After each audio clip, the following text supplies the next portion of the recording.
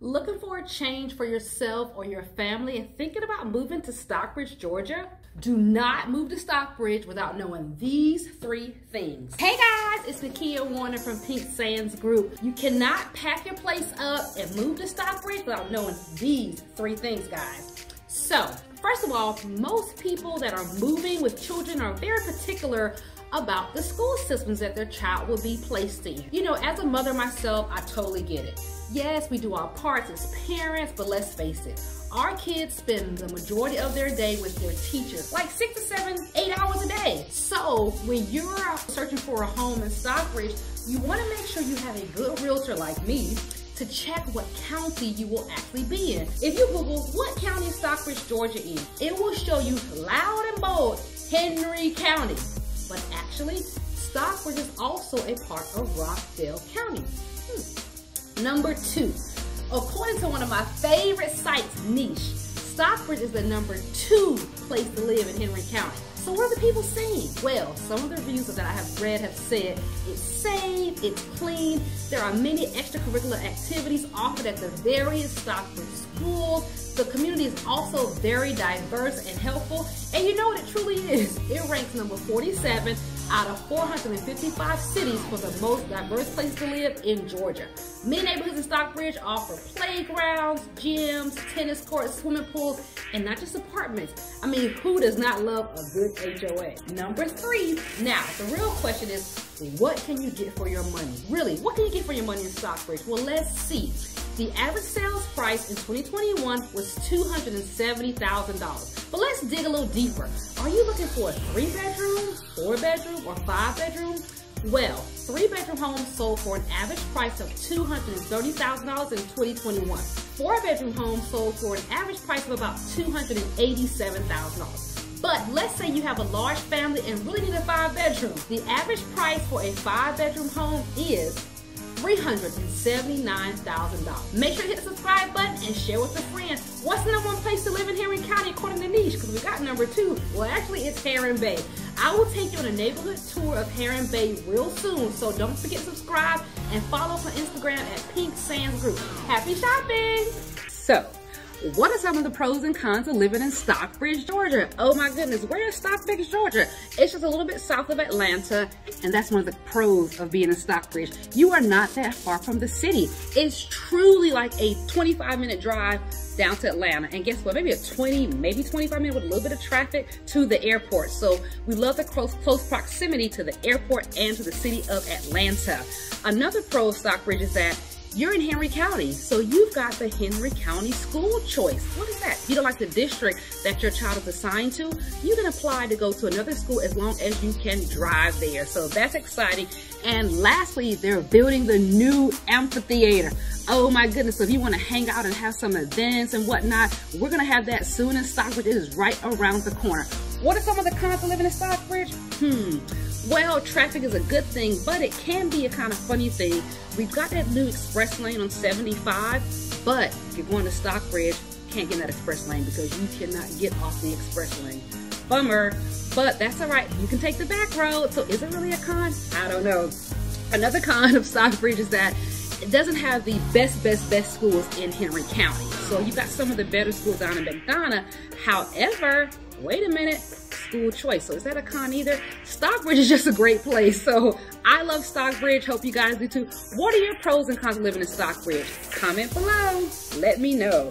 Happy shopping. You thinking about moving to Stockbridge, Georgia? Well, know these six things to help you get started.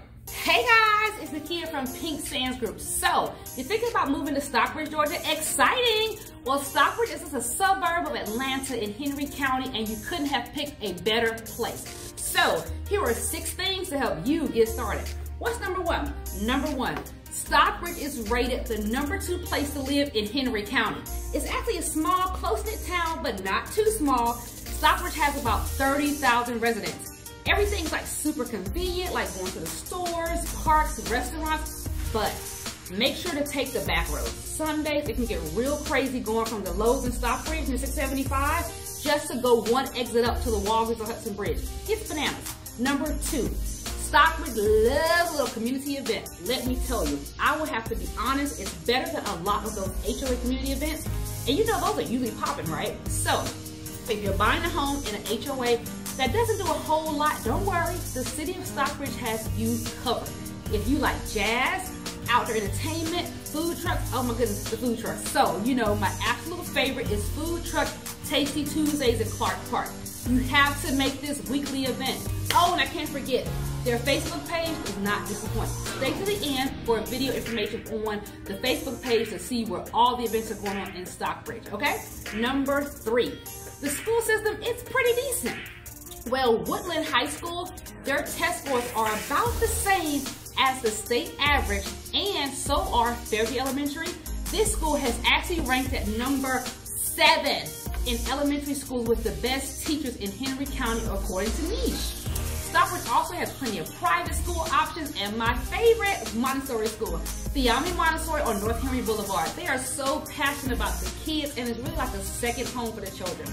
Also, Henry County offers school choice. What is school choice? Well, if you aren't a fan of your child's assigned school district, you can actually apply to attend another school in the county. But you have to drive them there every single day. Number four, guess what? Wait for it. The homes are affordable in Stockbridge. So, according to the Georgia Multiple Listing Service data, the average price of homes sold thus far in 2021 in Stockbridge is about $254,000. It's putting that house of your dreams much closer to reality than buying a home, say, in Fayetteville, where the average price home sold this year is about $403,000. Or say Alpharetta, they're pretty much at 649,000. We might as well say 700,000. So Stockbridge is pretty affordable. Number five. Now, have you guys heard of Stone Mountain? No, it's not in Stockbridge, but we got a little something, something here too.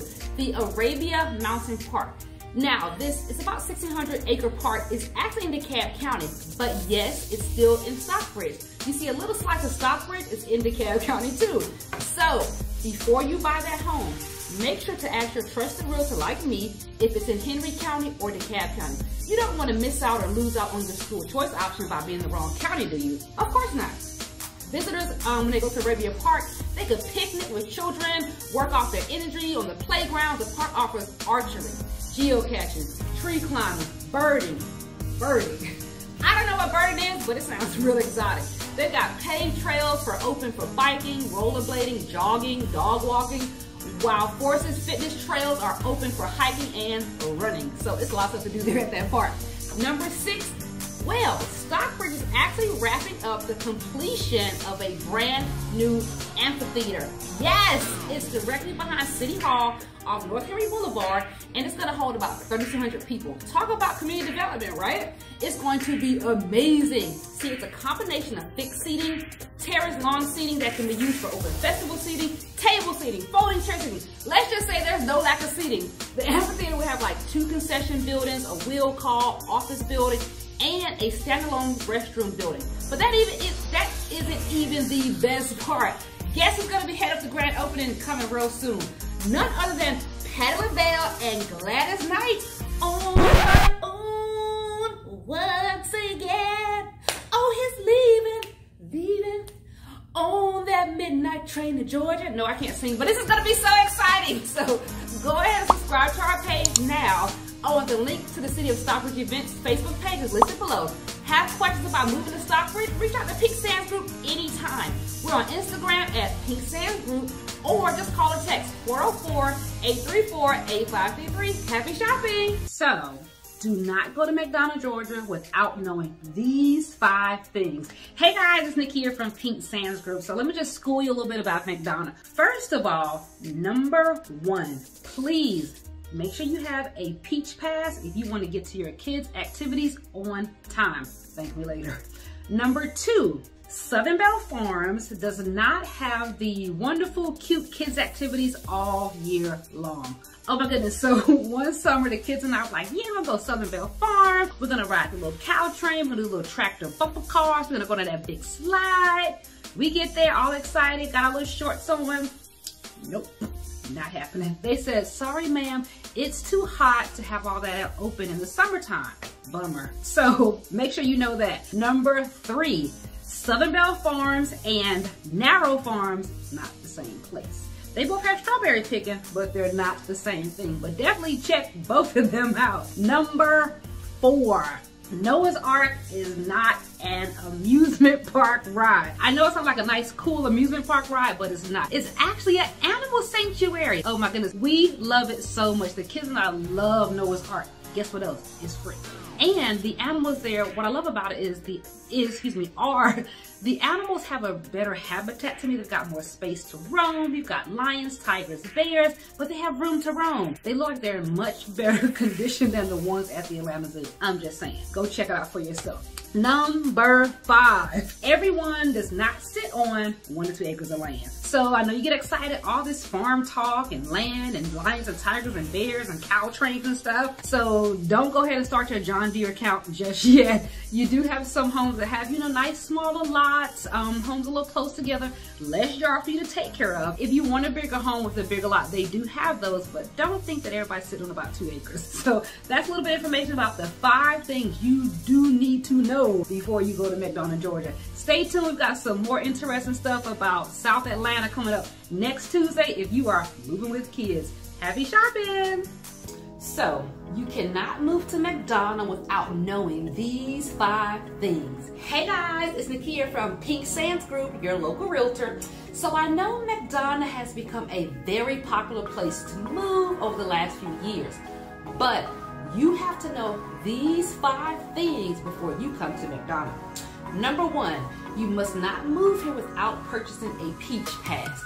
If you want to get anywhere on time, it's a must to navigate the horrendous traffic on I-75. When I say it can be a real hot mess, well, it could be a real hot mess. Number two, Southern Girl Farm is not only for strawberry picking. Yes, this is a place where you can pay to pick your own fruit. You can pick peaches. Ooh, their homemade peach cobbler is to die for. Make sure you grab some before you leave the country store. Now, they also have muscadine. Some people call them, what is it called? Super nog, super eggnog. I don't know. Do you know? They have blackberries and blueberries for picking. But make sure you check the weather before you go. The kids and I went to pick blueberries and they are way, way at the back of the farm. So then it started to rain. So just imagine trying to run with a four-year-old and an 18-month-old and I had on flip-flops. I mean, well, half the way back, we just threw that bucket of blueberries down and hightailed back to the car. I don't know about you, but I don't play around with open field and thunder and lightning. Just not the jam. Number three, the Cigar Box Festival has nothing to do with cigars. It's actually about guitars. Who knew that? Cigars, guitars. Number four, make sure to download the Waze app. Go to the settings and change it to avoid highways. This is the best way to learn the back roads. You'll thank me. Yes, we are talking about traffic again. Number five, everyone does not sit on one or two acres. I know we talked about Southern Belle Farms and picking fruit and all, but that's not everyone's reality. You will definitely find a number of homes in newly constructed communities where the homes are pretty close together. At the same time, you may drive past drive past a little pasture on a back road or two, or maybe one or two back roads, as building is on fire in McDonough. From the new homes to the industrial plants to mixed-use space, definitely a growing city for all. Now, if you want to hear more do's and don'ts of other surrounding areas, hit that subscribe button. Happy shopping! Hey guys, it's Nakia from Pink Sands Group. So we want to talk about today. So what are some of the pros and cons of living in McDonough, Georgia? Okay, so let's start with the cons. So first you're gonna hear traffic, ah! Okay, traffic can be a bit of a problem on 75 South. But you gotta admit, it's still not as bad as Atlanta traffic, but traffic can be a nightmare. Number two, the traffic problem because of what? The 18 wheelers. You got a heavy industrial area down in McDonough, so you got those 18 wheeler tractor trailers, they're all over the place on the expressway, taking up all the lanes, keeping the traffic slow. Oh my goodness. So that's one of the cons of being out there. And they don't really have a whole lot of magnet school programs like some of the other surrounding counties. They don't. So what are some of the pros of being a McDonough? Well, one of my favorites is spring and summertime, going to the farms, Southern Belle Farms, where you can pick strawberries and peaches and get fresh peach cobbler and fresh vegetables and stuff like that. The perks of kind of being a little bit of country living, but guess what? We still have restaurants all over the place. So that's my next pro of the amount of restaurants that we do have in McDonough, Georgia. They're pretty great. Actually, we've got a lot of chain restaurants, and believe it or not, there are some nice small local restaurants too. There are definitely things to do for the children. That's another thing out there. Things to do for the kids.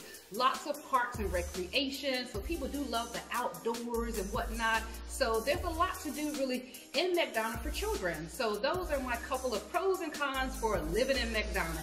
You've got questions about coming to McDonough, give me a shout, 404-834-8533. Happy shopping!